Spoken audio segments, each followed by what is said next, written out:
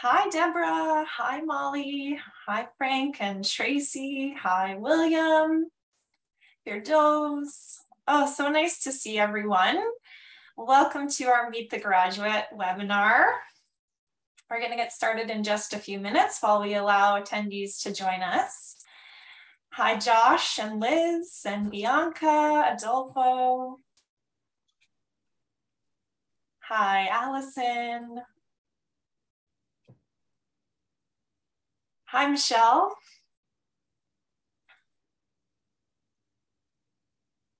Hi, Primrose and Phil.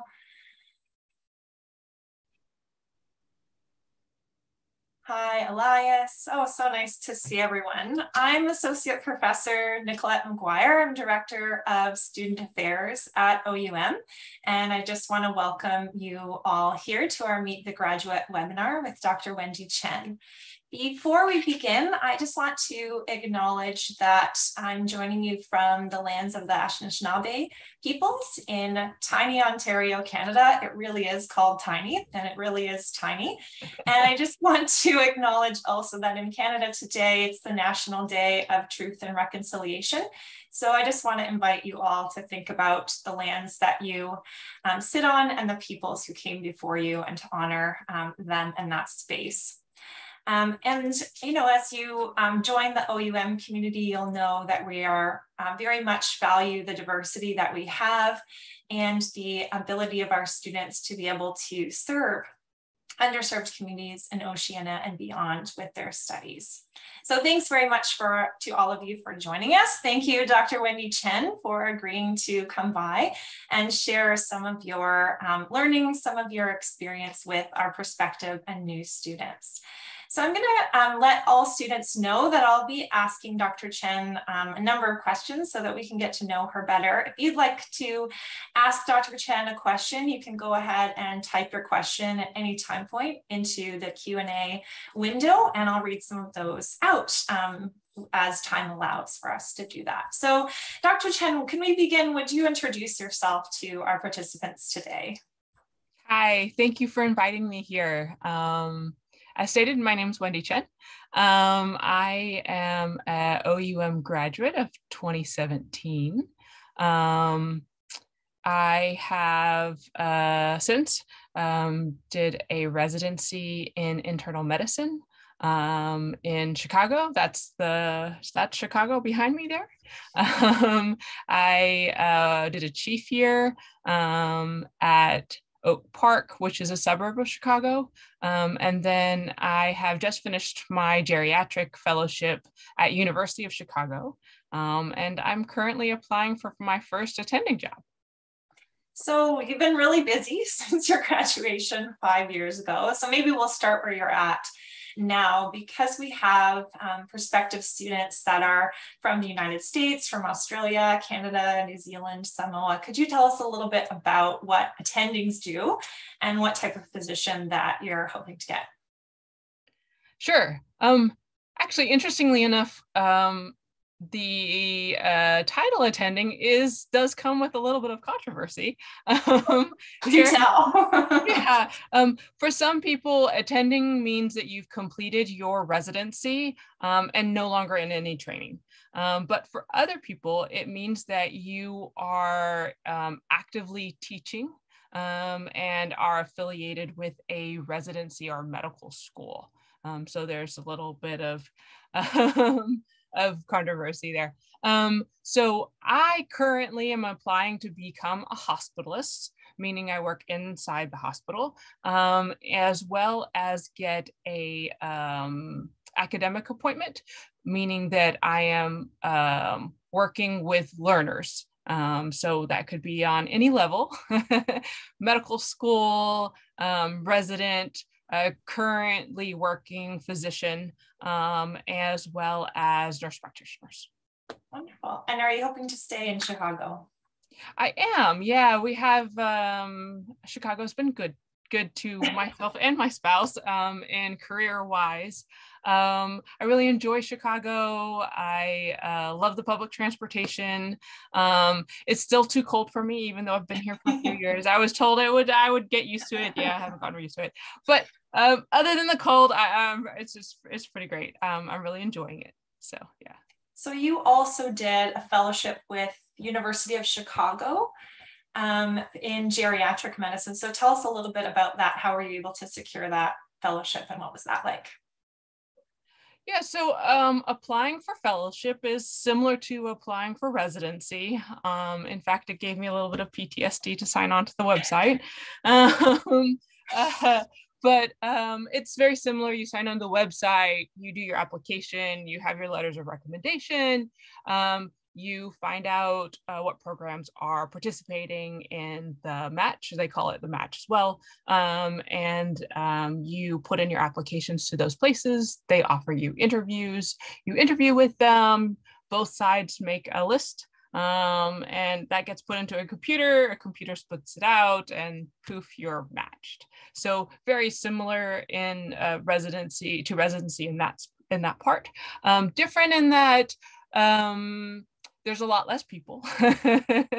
um, you really do need someone um, from your residency or somebody that you worked with as a resident to really say, hey, this is a great person, um, to be able to call that call the program and say this is a great person you that you know i really think they would do well um, as a fellow. Um, they had they you know were trying to get away from that from residency match but that still very you still need that in fellowship. Um, the other part like i said is that there's considerably less people so your interview is much more individualized and you tend to interview with more people. Uh, so you have Fun. shorter shorter uh, interview or even a longer interview with longer day. So yeah so what's a what's a day in the life of a geriatrics fellow? Walk us through what your typical day would be like. Yeah, so fellows vary very much from your specialty and even your location. So for my geriatric fellowship, we worked in three different locations and each location was very different. So one of them, and the reason actually why I chose University of Chicago is that it had a very strong um, inpatient uh, presence. So we have a full consult service um, that we staff um, Monday through Friday. Um, so for that, it's very much like being on the floors um, of a hospital. Um, my day started somewhere around seven, um, chart checking, seeing morning labs, all of that. Um, I would then divide up our patient list to figure out who we needed to see, divide up our patient list with our team, um, whoever that may be. Sometimes it was just me. um, but in general, we usually had uh, two or three residents and uh, one or two medical students in my team. Um, so we would divide those up. Um, occasionally we would round in the morning and afternoon, but usually it was just afternoon because our residents were really busy during the morning. Um, so I would go around and, and um, try and get things done that I could get done, go and see some of my patients. Um, then we had a, a noon conference, um, and then sometime around two o'clock would be around would be rounds. We would go and round. Um, and then after that, and also including in the morning, um, so after, uh, sorry, after rounds, and we were may need to talk to the patient or family, um, we would do our notes. Um, and then anytime during the day, we could get pulled into a um, family meeting, um, a medical team meeting, a specialist meeting, um, social work, um, interdisciplinary meeting. Um, those were those kept our days very interesting. Um, so I would be done anytime between five and 10 at night, depending on how lively our list was, both in how many consults we got or um, um, one of the common reasons that we would be consulted in patient would be somebody who was uh, had dementia um, and was going through a lot of delirium, was really having difficulty. The medical team was having a lot of difficulty. Um, and so we would be working on medications they could use and behavioral techniques with both the staff and the family. So that takes a lot of time. Um, some hand holding for that. so um, that's inpatient. So outpatient looked very much like your typical primary. So I was a primary care um, doctor for patients who were 65 and older. Um, your typical eight in the morning, your first patient comes in at eight in the morning. Um, my last patient was at 4.30 um, and afterwards I had notes. Um, and then after the notes, I was free to go to go home. Um, but uh, with being a primary care, there's always things to do and orders to add in and paperwork to do from specialists and that sort of thing. Um, my last uh, place um, was at nursing home. So as a primary uh, doctor for a panel of patients at the nursing home, um, that varied, varied quite a bit based on my attending on when that day started. Usually we were there for about eight hours, um, rounding on our patients, um, talking to the um, all of the staff. Sometimes if you get there early and you can talk to overnight staff, which was very helpful. Um, it often included um, calling family. Um, and then we would also have interdisciplinary rounds, especially with physical therapy, um, occupational therapy, and dietary to see what they're eating and what they're not eating and what we can do about it. um, and so those were interesting days. They were very unstructured. but very hands-on, it sounds like. Oh, yes, yeah, yeah. So what on the days that you're not, you know, starting at eight in the morning and working until 10, you know, do you have a, have time for a life for other pursuits beyond medicine at the stage that you're at now? What do you like to do for fun when you're not working? well, um, so I um I stress break, which people around me much like for the most part. So when I'm stressed, I tend to bake goods. Um, and so uh, the nurses either love me or hate me about that. um, um, I enjoy, um, I also enjoy art, and then I just like being outdoors. So hiking, running, boating, canoeing, swimming, all of those things. Those are all great. Um, I um, haven't, as a trainee, you don't get a lot of time on your own. Um, so, but I have made a point the last couple of weeks. I am since i'm hunting for a job that while as in addition to hunting for a job i get to do something fun for myself. So that's been a lot of fun. Um, i call this time in chicago uh, fest season because there's a large number of festivals going on every single week or weekend they can span. So last weekend my brother came up um, from uh, from um, Kansas City, and we hit five festivals in one weekend. It was great. Amazing. Chicago is a very vibrant city. Yes, there's always something to do.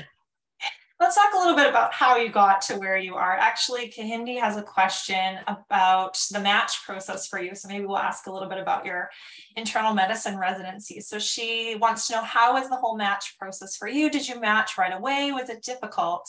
interviews. Go on, please, please, Dr. Chen.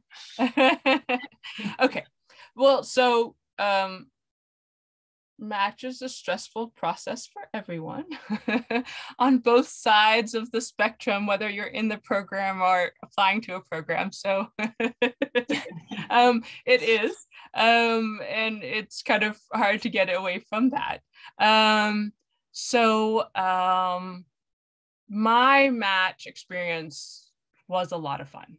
Um, I had a lot of fun. I really enjoyed the rotate the uh, interviews. Um, it was pre-COVID, so it was in person, um, and it was fun. Some places would pay for a hotel and take you to dinner, and I mean, it, it was it was nice. Um, it was I enjoyed it. Um, and then, you know, you have interviews. My interviews averaged um, two to three people was usually how many people I interviewed with each um, program. Um, I think only once, I think only one program only had one, and then I had another program that had four and another one that had five, um, but they were a panel. So you had all five people interviewing at you at once. um, it was interesting. It, it was a, it was more like a dynamic conversation, which was which was actually quite nice. Um, I did match. I matched with my second choice. My first choice only took two people, so I knew that that was unlikely, but hey, you know, we can dream. Um, why not? Um, and so I got my second choice. I was very excited to get my second choice, um, and that was with um, Mercy at, at, in Chicago. Um, so um, I am commonly asked for um, recommendations and kind of my thought on on match. so my two recommendations, my two pieces of, of advice is to start early. Um, and um, and when I say that, uh, what I mean is while you're doing your rotations, you should be thinking about who you want to do your uh, letters of recommendation. Um, at the end or sometime soon to the end, you need to be asking them would you be willing to do my letter of recommendation? Would you be able to give me a great letter of recommendation um, and get there and and go ahead and get that permission? Um, and then send them an email every six months saying hey how are you doing? I just don't want you to forget me. Obviously in more processed words but that is really what you need. Um, um, or they recommend every year but i if you i mean i say every six months um, and the other thing that you need to think about um, is can that person upload their letter of recommendation? If they cannot, you need to find out who will be helping them. Um, it can be somebody in their office, but you, while you're there, find out who you're going who's going to help them load load you know navigate the whole website um, usually it's an office you know someone in the, that works in the office but you should figure that out then while you're in the city. Um, and then the other thing that you should be thinking about is where. Where are you going to interview? Um, all of the rotations that i did i tried to pick a place that i was interested in uh, doing a residency. So i got to see their residency program up close and personal. Meet people see them and while they're doing their thing. Um, and so that's um, um, i think that that's really important. Um, and i think that one of the things that people forget when they're going on this interview and they're very nervous um, is that you should be looking at seeing if this is a match for you just as much as they're seeing if this is if you are a match for them you should be looking around look at your um, look at the residents that are there there was one place that i interviewed i looked at the residents i was like no. I'm not ranking them. Yeah. There was a program I didn't rank because they looked terrible. They did not look happy at all. Um, and the few things that they could tell me was, oh, well, we have this one rotation that's a blow off rotation that you don't actually have to go to, or you just kind of do minimal work and then you can run away. It's like, that's not what I want for my education. Like, this is got to tell me how to become a doctor, you know? So there were several things that I looked at. I made a point to if they had, you know, they all of them had a, had at least one um, resident um, come and talk to us. Um, but I, when we were going on our um, tours and that sort of thing, I looked at how the residents were interacting with each other um, and that and how the residents were interacting with their attending.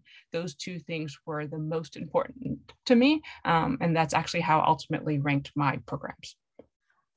Um, the other thing you should be working on is your uh, personal statement. This should be something that does not get done at the last moment.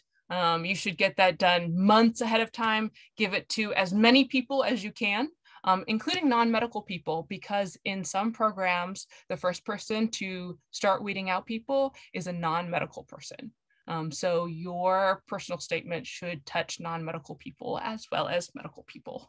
Um, so I would encourage that. Um, and I would encourage uh, people when you're thinking about where to apply, um, that you go to each and every program's website and make sure that you qualify or make sure that you're doing whatever that they are asking. Um, because if you don't make it through their filters, they will never know that you applied and that's a waste of your time and money. So I think that makes a lot of sense for um, the match in the US and the and CARMS in Canada as well. But I think there's some application for students who are looking to do internships um, in Australia and New Zealand and Samoa as well, because you know making connections while you're doing rotations is incredibly important. Yes. Making sure that you're making good connections not only with the medical staff, but also the non-medical staff, where you know it's those administrative staff that really can make a huge difference um, for you and ensuring that you know you're getting recommendations and be, being able to um, find places that are a good fit for you and not just find trying to find a place that yes you. So I think that's really great advice, Wendy. Thanks for sharing that. Um, okay, so I want to um, talk to you a little bit about, you know, before you get to um, the residencies. There are there like additional steps that international medical grads have to go through before they're able to practice. You know, did you, did you find that there were like extra hurdles for you or extra things that you needed to do? And what was that like for you? Yeah, so there's a um, website called uh, ECFMG, um, and you have to um, apply to them um, and you have to register with them. Um, and then um, they have to, um, so your medical school and they have two connect um, and they both have to say okay to um, grant you access to take step one.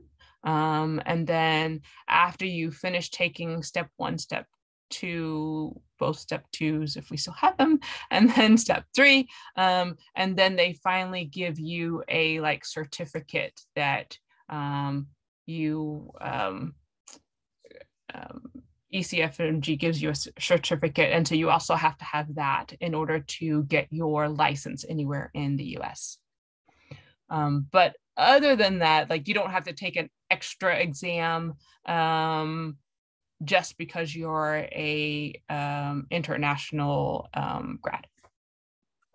Um, and um, I want just to let folks know, just if they're wondering, this might not have been in place when you were um, trying to get everything sorted with ECFMG, but we do have a, a, a, staff person who's dedicated just to working with ECFMG to make sure all the paperwork goes in and everything's sorted for USMLE steps and for um, the match for students. So just so just so people know, and then for students who are in Australia and New Zealand, of course, you um, as international medical grads would take AMC 1 and 2 as well as NSAID Rex. And for those in Canada, um, you would be taking the MCCQE and NAC. So if you want some more information um, about those, I would suggest you kind of look uh, go to websites first and also your admissions counselor can provide you with some more information if you have questions about those. Um, okay, so I want to talk a little bit um, pre pre residency, maybe in in clinical rotation. So, where did you do your your clinical rotations with OUM? Um, basically all over the Midwest. Um, I think my most north was Wisconsin. Um, I did Chicago, um, St. Louis, Kansas City, uh, Houston, um, Atlanta, Georgia, and Samoa. I think I got all of them. what did you kind of take away from that experience of being able to do rotations in many different communities, many different hospital systems? Yeah, so I specifically picked places that I thought I might be able to rotate at uh, or I mean, to I picked specifically picked places picked places to rotate at that I thought I might be able to apply for residency. Um, I um, really enjoyed being exposed to different medical systems. Um, I was interested in that on purpose. Um, uh, so I was exposed to different different EMRs, um, different ways that the hospitals were set up, how admissions worked, how you know hospitalists, how hospital teams worked. Um, um, doctors that were either employed or contracted, um, doctors that worked in the hospital and outside the hospital or only worked in one or the other. I i um, kind of i was very curious what that looked like um, and so i wanted to see what that so i wanted to see and rotate um, and and see what that looked like yeah, yeah. Um, so in the clinical years of course you're on site at clinical sites and learning medicine, clinical skills hands on, but you also have um, curriculum to go through each week. So we do have a question in the chat window um, from Joshua, which was what was your experience of learning medicine via distance education? Um, and was it difficult not having face to face contact? So maybe like let's think about that in the clinical years and then answer it that that way first and then the preclinical years because in the clinical years you have both the face-to-face contact as well as the distance learning. So can you tell josh and joshua and, and the rest of us what was that like for you? Yeah so during my rotations um, we had um, so i had um, the rotation we had modules on uh, modules to be completed um, and then we had our case logs to do, uh, questions to answer. Um, and then um, we had a reading list um, that we needed to read. Um, and then in addition to that, our um, attending may uh, give us also reading and things to do as well. Um, so it was a lot of time. I spent a lot of time studying. I needed support um, I could not have done it on my own. There were times I could not take care of myself, much less, you know, housework and cooking dinner for other people. That that I didn't have time for that. And some of my rotations, they were really busy. Um, um, so in that sense, the um, modules were nice in that I could do them at any time, at any place, as long as I had the internet. Internet. Uh, so when I was, you know, doing night rotation, I could pull up my stuff and get stuff done at night, which was really cool. I very much enjoyed that.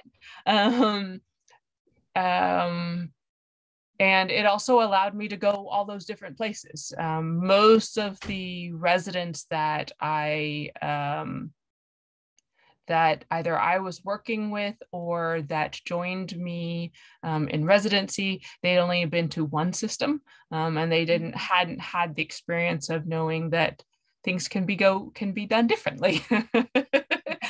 um, and so um, in that sense, I found that really fascinating. I was, I, it was something that I was really interested in.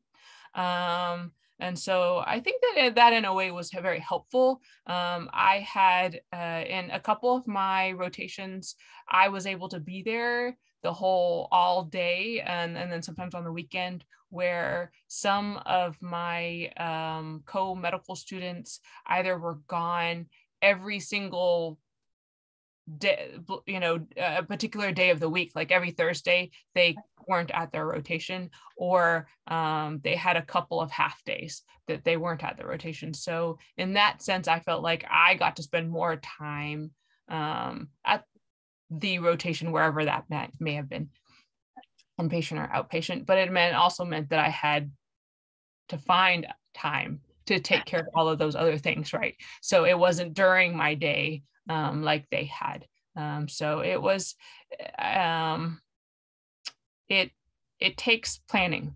It it's not something that you can just ah get it done. No, no, you have to plan for that sort of thing. Um, um, and uh, I think the same can be said for uh, preclinicals. Um, so one of the things that I tell people when they first are starting, you know, OUM is that um, distance learning is not easier learning it's different learning um, and you have to be aware that it takes just as much effort and just as much time. And so you have to plan for that. Um, when you uh, join, you are joining med school full time. Um, even if you don't have to be in the classroom, you still have to study. and so you have to plan for, well, when are you going to do that work? You know, um, I found that I had to have a dedicated space to study and I had to plan when I was going to study. Otherwise, it kind of didn't get done my, during my preclinicals. Um, so that was really important. Um, it was important that the people I was living with knew that when I was sitting at that desk, um, I was kind of off limits. That I was studying and they needed, if they had questions or whatever, they needed to wait until after I was done. Um, and it it still requires hard decisions. It still means that sometimes you're not going to get to go and do things you know that you want to do um, that you you know have to make those decisions that right now i'm going to study and i'm going to get things done but hopefully in the long run that gets me to my goals um, so that's something that you have to be conscious of. Um, the other thing for me is that I'm a social person. I like being around people. Um, I like being in the classroom around other people. Um, so I learned that I needed to um, be in a study group. And so a group of us started a study group. Uh, we met online, and then um, just before every every um, exam, we actually met in person in Philadelphia um, for a little while. That was fun. Um, yeah. It provided some camaraderie. Um, so um, that was cool. yeah. I liked that you pointed out definitively that um, distance learning is not easier. And you'll often hear students and doctors saying there's no shortcuts in medicine there's no shortcut. So it's not that, you know, you have um, fewer study hours when you're doing distance education. It's just that you get more say over when your study hours are. So because all of our um, coursework is offered live and recorded, you can attend all of the live sessions if that you know works with your learning schedule and you can listen to them recorded and you have all of the materials and textbooks um, available to you 24 hours a day. So you get some, you get a bit more control over what your schedule is, but it doesn't mean that you have less hours to plan for. So I think mm-hmm. that planning aspect that you've pointed out is incredibly um, important as well. So um, I think there was a question um, about um, doing um, this kind of non traditional pathway um, that Joshua was asking about as well. So um, the question was, what were your initial perceptions of taking OUM's non-traditional pathway as opposed to traditional pathways? And the reason why kind of bringing that one up is because a lot of times students will think about um, medicine as neat, um, and at least in the preclinical years, is that you have to be in a big lecture hall being surrounded by a number of students who are like furiously taking notes on paper or laptop and like super competitive with each other. And that's not going to be the experience of um, an OUM student. So can you tell us a little bit about what that experience was like for you? Um, I, I don't know that I love the like the non-traditional term that we sometimes use, but just maybe it's a, an alternative pathway. It's a it's a pathway for those who, you know, it's not going to be the best thing for them to have to be in a classroom every Tuesday and Thursday from like 10:30 until 3 p.m. But you know, tell us tell us a little bit about what that was like for you and why did that that type of learning work for you? So when I first heard about it, I was like, nope. um, I had a friend who was actually who had applied and got in, and um, um, I was like, that sounds like a scam. I, that's truly that's what I thought. Um, he um, had a few classes, and I actually was um, listening in on a. You know, he had he was on his computer, and I was listening to it. And I was like, hey, that that that sounds like like actual classes, you know. Um, and um, he was like, this would be a great program for you.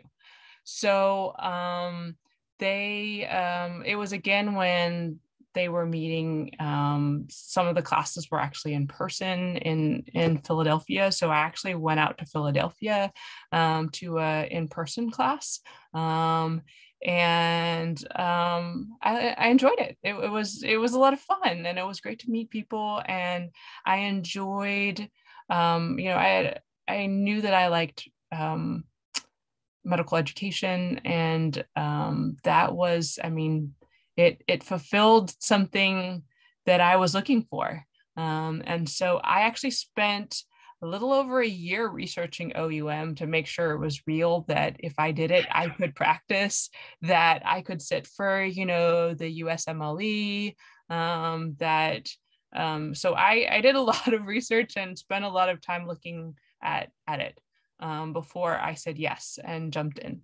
Um, and so um, uh, I obviously am very happy that I did. Um, I um, I actually didn't have too much uh, problem when I was doing my um, um, when I was applying for residency. Most people were actually just curious about it.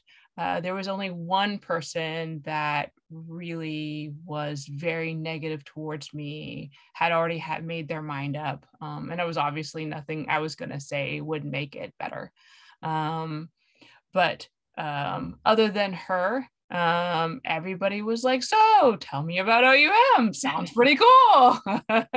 um, so um, I had a fairly positive experience with it.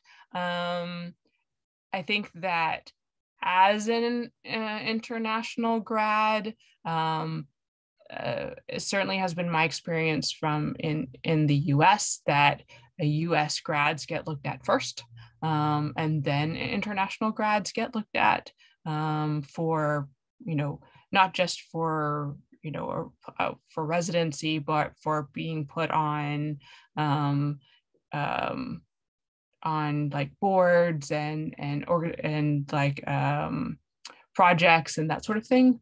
Um, but it's possible.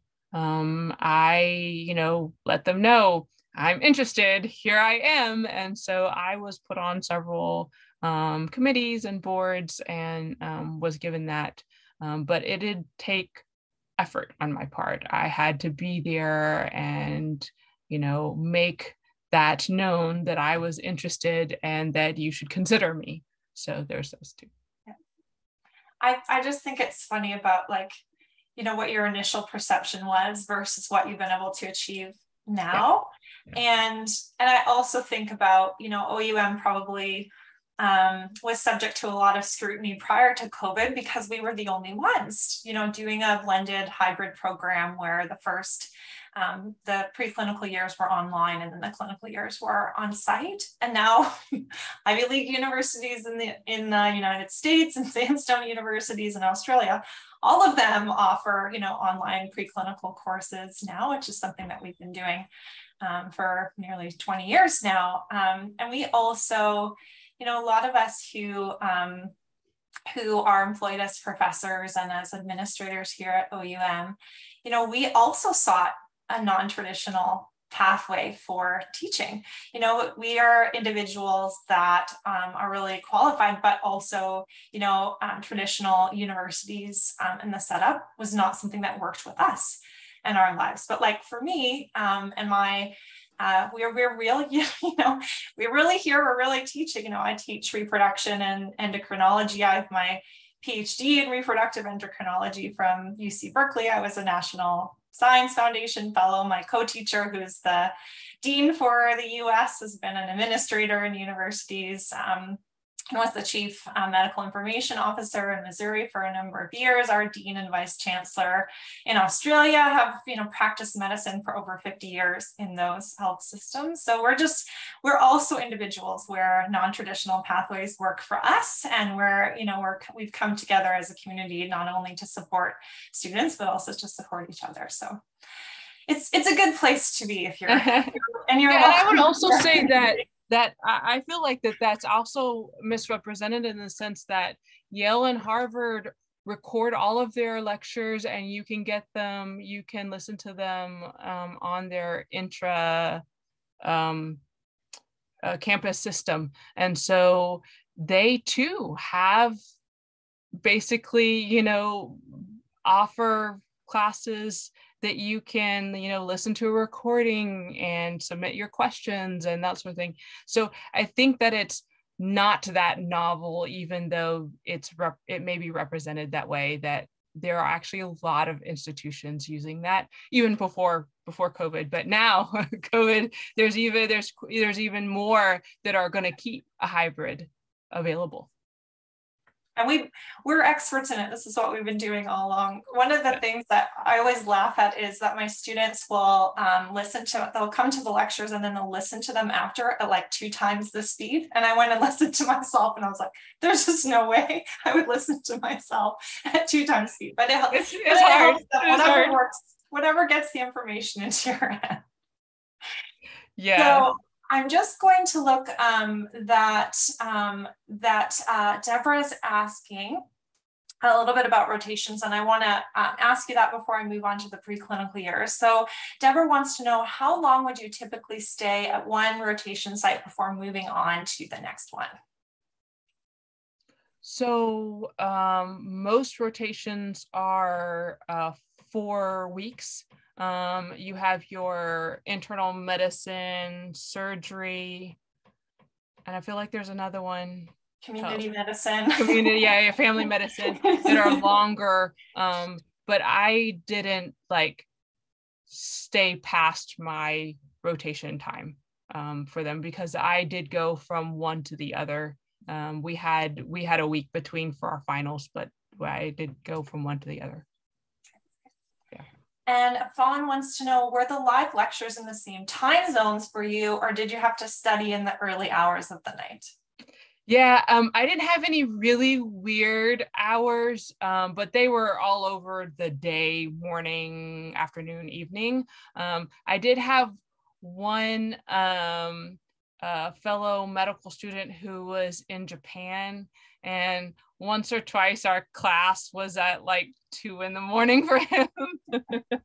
good thing he he he was he's pretty good at you know changing uh, time zones. He was pretty alert and awake um, during our class. But um, yeah, I didn't have any crazy hours, um, but they were all over the the day and evening. So, so right now, this is the time of day that lectures are offered. So it's 8 to 10 Eastern time or 10 to noon mm-hmm. Australian Eastern time. I think it's 12 to 2 um, in the afternoon, Samoan time. So if you could come to this session and pay attention to that. yeah, when so okay. when I was when I was on, we still had um we still had uh, professors from all over the world. So, like my uh, muscle skeletal was in Germany, neurology was from India. You know, they were we were all over. we do still have professors from a lot of areas of the world, but we standardized the class times now. Okay, so let's talk a little bit about um, you know getting getting into OUM, what what preclinicals are are like, all of that. Um, so you know what did um, what did you think about going through preclinicals? We said that you know you needed to plan, you need to set aside adequate amounts of time for study. But what else do you think that you know prospective students need to consider before they embark upon the first couple of years of medical school? Um, this is not easy. This is not a path to become rich. there's a, there's a whole lot of other much easier ways for this. You have to want this for you. It's in my mind too difficult to do this for someone else. Um, this has got to be something that you really want, that you're really passionate about. Um, and then you have to think about how you're going to make time for all of this.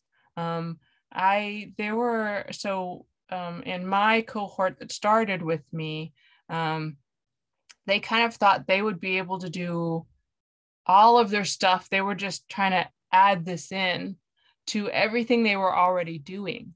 Um, and they they didn't last very long, unfortunately, um, just because they um, you know there's only 24 hours in a day.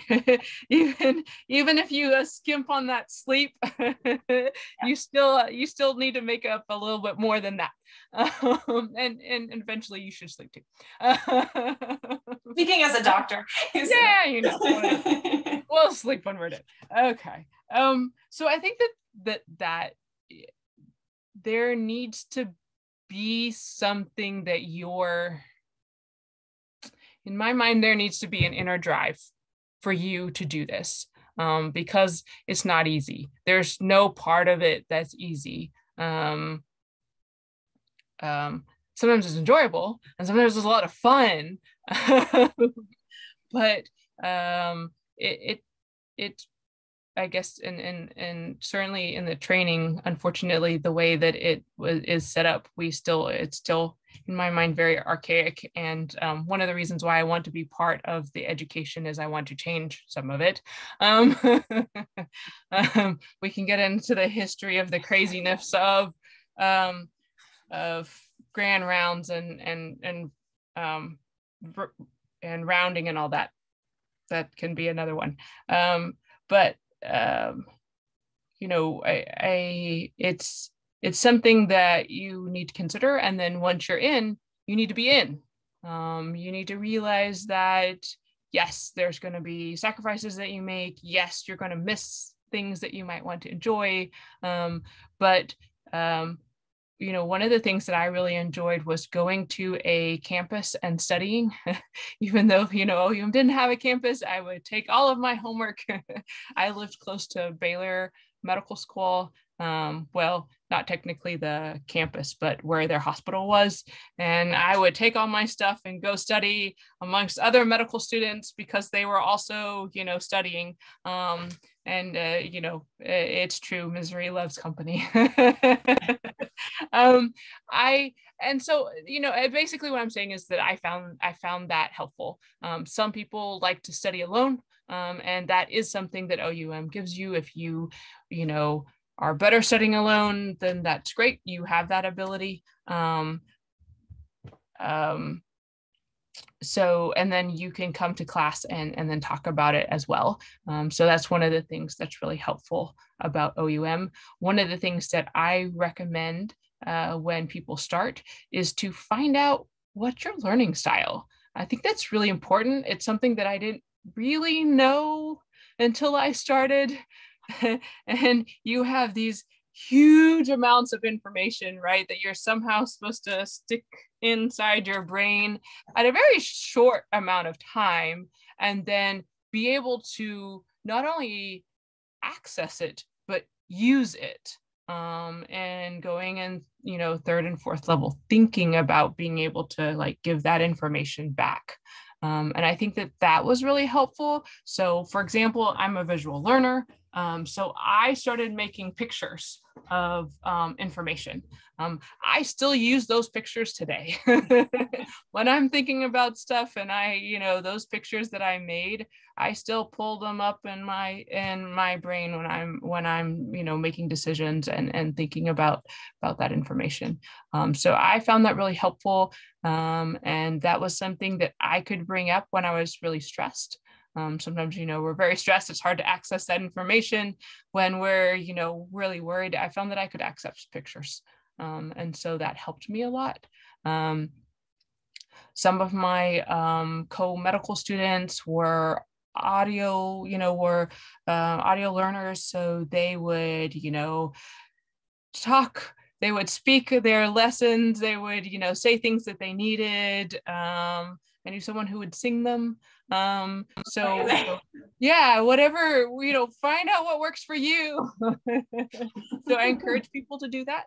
Um, and I also encourage people, even if you are an individual learner, in other words, you want to be alone, uh, you don't want anybody around you, you need quiet, that you still have to have that conversation or interaction with the information to be able to truly use it. Like you're you know when you're on rounds and you're standing um, you know at a bedside and the attending asks you a question they aren't asking you the rote memorization out of a book you have to use you know four different modules that you went through, pull all of them up from all the different, you know, times, roll them all together and be able to be able to spit out that answer. Um, and if you don't practice that, it's very difficult. And that is what one of, so not only do they ask you on our rounds, that is also what they ask you on USMLE,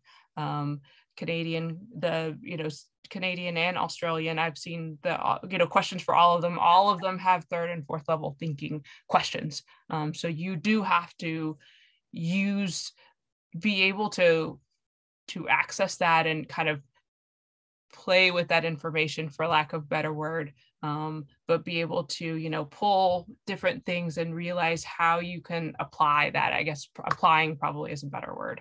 Um, and i think that that's something that you have to be comfortable with.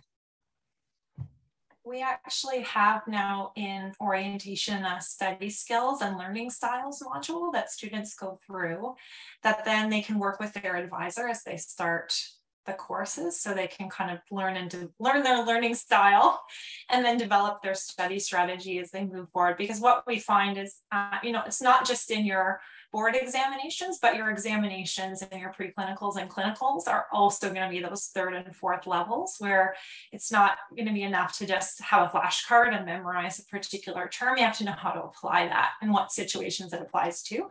Um, so i think that's really good advice um, I want to talk to you a little bit about um, OUMSA, the OUM Student Association, because this question is kind of bumping around in my mind. You said, you know, I was some students like to study alone, but you have to also make connections. So are OUM students connected with each other? What's the role of OUMSA and all of that?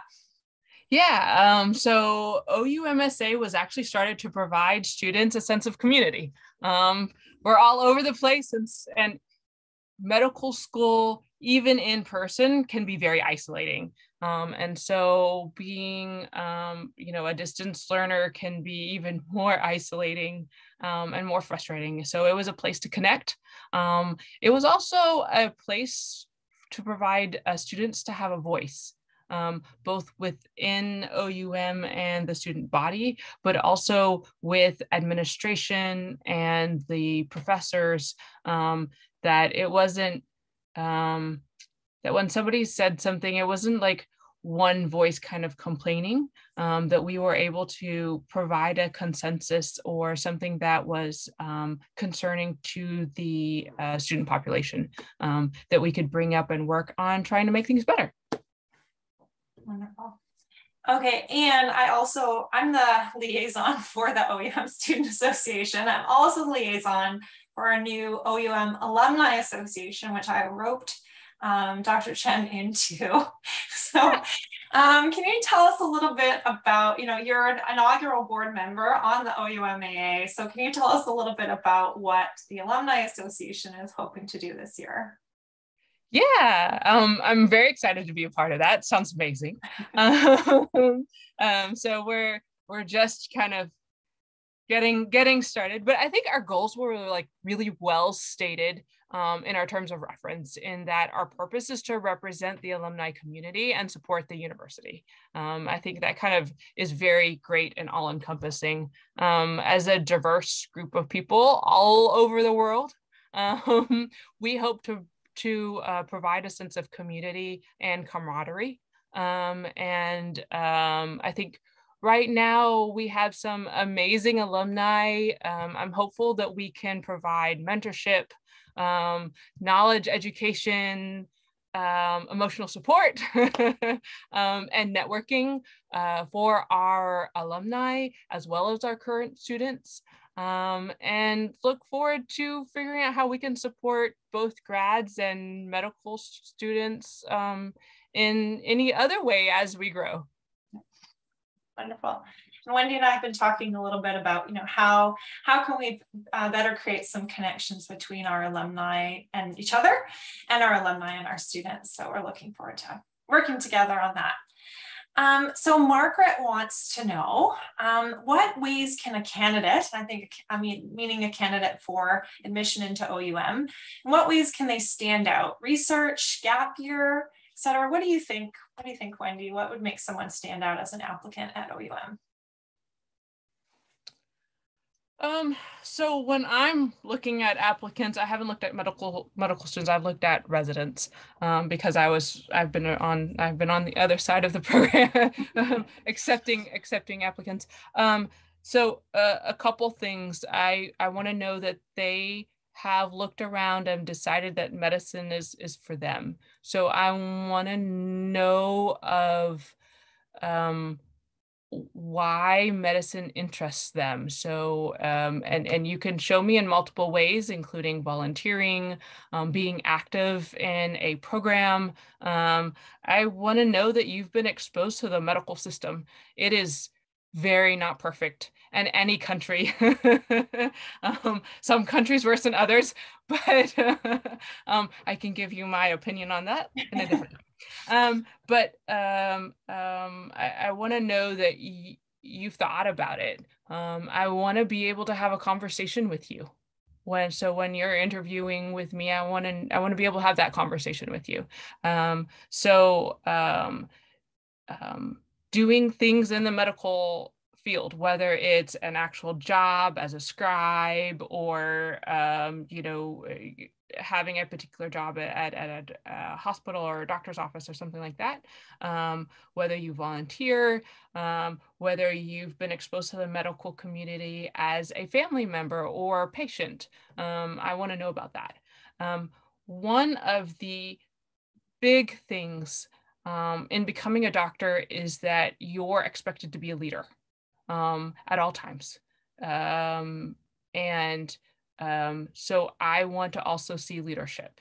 Um, I want to see that you are going in and trying to look at things, um, make things better, um, looking at being a part of a team.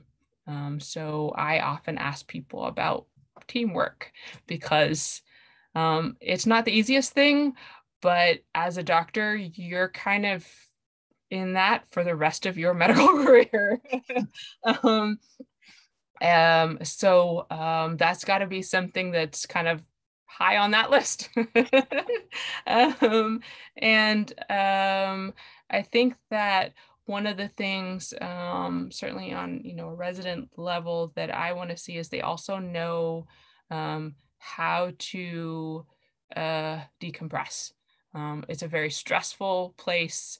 Um, certainly with COVID, there was a lot of hate, um, a lot of really negative interactions. You have to be able to take care of yourself emotionally. So I want to know that you do something besides medicine. that, you know, what do you do when you're stressed? Um, that you have like a positive coping mechanism or or or, or support you know those types of things um, i want to know that as well. Um, and then um, i would tell you to also wherever you're applying whether it's a medical school or, or or residency that you go look at the website and they tell you all these amazing things about what they want from you. Um, and so um, they tell you what they're looking for. Truly people don't try to hide that um, so I, you know, I like to get on on a website and, and really see um, what their program is interested in um, and see if that aligns to what your interests are. Thanks, Wendy. I'll speak a little bit um, about uh, for medical students since I'm um, one of the members of the interview panels at OUM, there's no secret sauce or what you like, what all, you know, what your personality needs to be in order to get into OUM or any medical school. Of course, we do have minimum requirements that you can find on our website and get a little bit more detail on from your admissions counselor. But beyond that, like we want to know who you are. Um, we want to know that you're driven. Are you going to be able, are you passionate? Are you going to be able to sustain that um, drive, that, that ability to move forward even when there's adversity that's placed in your way.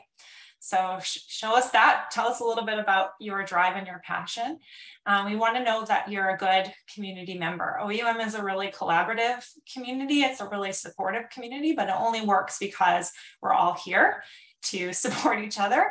We're all here, you know, with a common purpose in mind. So when students know um, the mission statement of the university and they embody some of that, I really look um, for that, I want to know the contributions that you're going to be able to make um, to our community, the contributions that you make to the communities that you're um, a part of. So that's something I always look for. So if you're gonna, if you're in an interview with me, definitely think about some of that stuff. But I think what we're all, you know, what we all want to know is, are you someone that's really is is passionate and is committed to doing this and is willing to go the distance and to put in the work to, uh, you know, achieve the dream that you've had for a while. So that that would be my side. I want to ask you kind of one final question, Wendy, and it's one that I hear from every student, every graduate about what is something that is very, very important for success in medical school um, at and at OUM in particular. And I think the answer like surprises some people, but what I always hear is that it's your support system that really determines your um, ability to succeed and to persevere through um, getting through medical school, getting through clinical rotations, getting through the match. So, uh, can you tell me a little bit about your support system? Did you find that to be true? Yeah, there's no way. There's no way I could have gotten through medical school without without some support. Um, um, like I alluded to earlier, sometimes with your rotations and sometimes with you know you even with medical class school classes you don't even have time to take care of yourself much less not that that's the way it's supposed to be but um, uh, much less you know do household chores and pay bills and take care of you know the car and all uh, there's yeah there I, I needed I need, would definitely need support for that. Um the uh, the other thing was to have a um, mentor that was in the you know medical that you know was a, in the medical system um, there's I, I am I am sure I would not have made it through medical school if it hadn't been for Dr. Ghazi, who was my physician mentor at OUM. Um, there were times that I called him crying, like I'm not gonna do this. This is not gonna work. I'm, you know. So, um, and he was like, take a deep breath you're going to be fine. um, you're not alone. yeah, you're not alone. um, so uh, yes, I, I, I think that that um, support is really important. Um, sometimes you find support in unusual places as well.